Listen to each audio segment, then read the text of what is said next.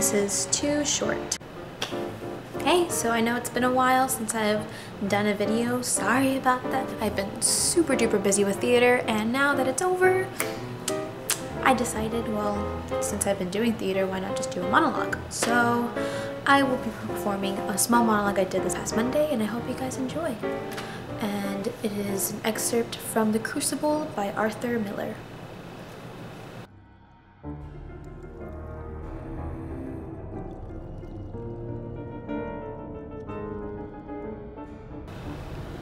Now look, you.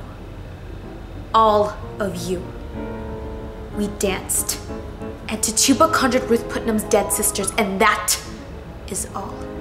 And mark this. Let either you breathe a word or the edge of the word about the other things, and I will come to you in the blackest and terrible night and bring a pointy reckoning that'll shudder you.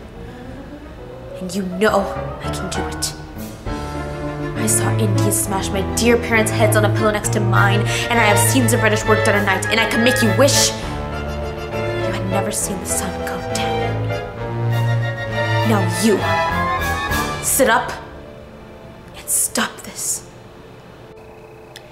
And now for the fortune of the week that we haven't done in a really, really long time. This week's fortune is you will soon receive help from an unexpected source from, well, what do you know? It's Panda Express.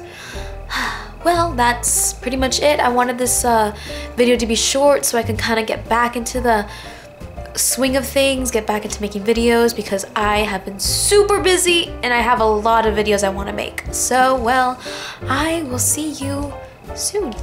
Bye.